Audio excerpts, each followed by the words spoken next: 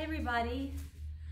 Um, so I promised that I would be posting some little free videos. So I'm gonna post um, today about planks. So we hear all the time that we should be doing planks. We hear about these plank challenges, all of this stuff.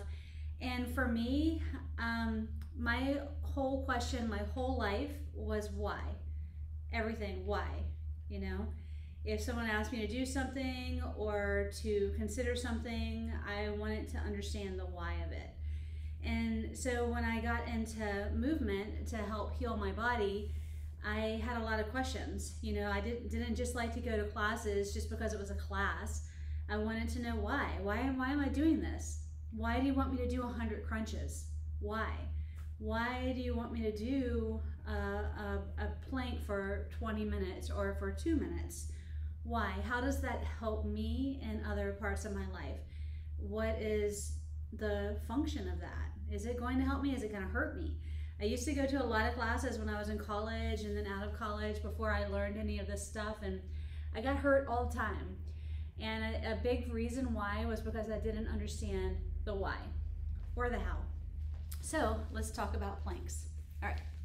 So everybody knows pretty much a plank it's just getting into this all four position, which we do all the time, right? We end up getting on our hands and knees for lots of things.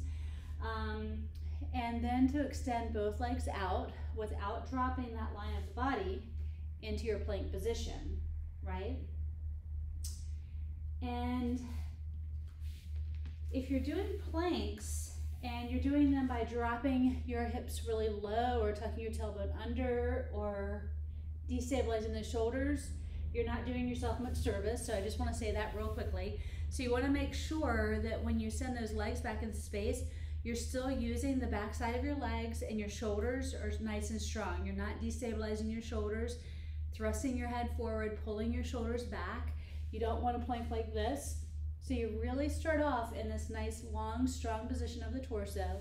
Send a leg back, activate that leg. To me, I, will play around with almost like lifting the leg up a little bit. I don't want my hip to drop when I put my other leg back.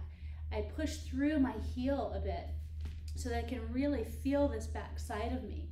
So I'm not tucking under and dropping down. I'm really nice and strong through the posterior chain, the back of me.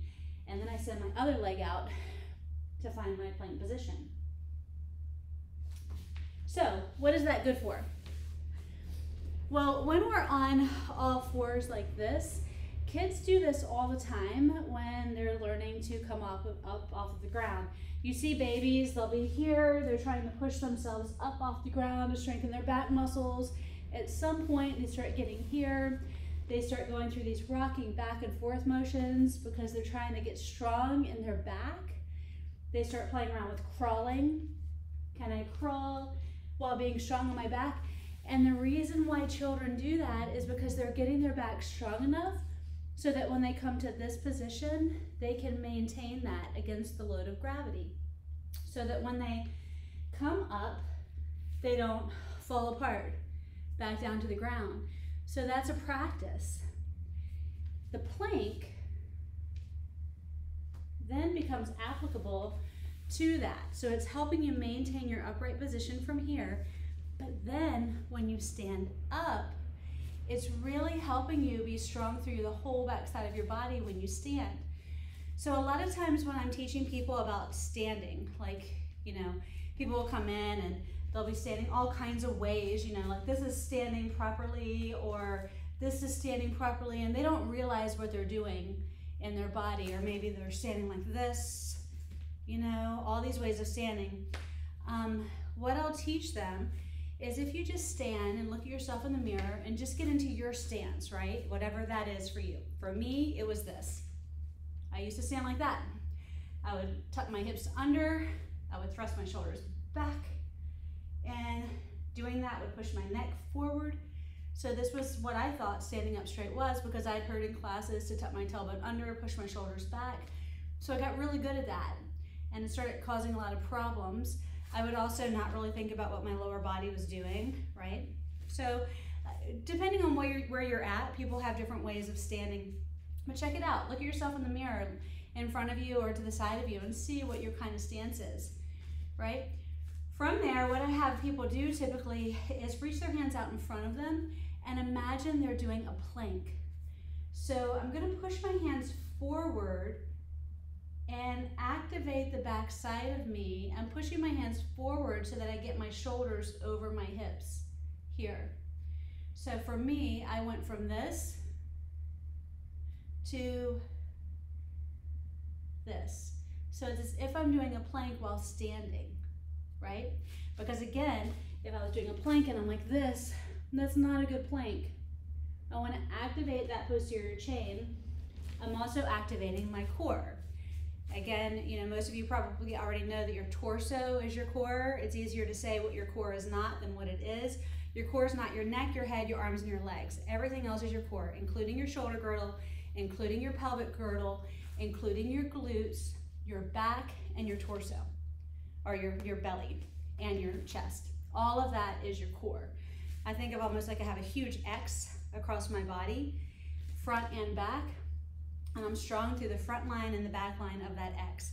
So one part of that X isn't bigger than the other, right? I'm trying to be nice and strong through that X pattern and my limbs are attached to that pattern.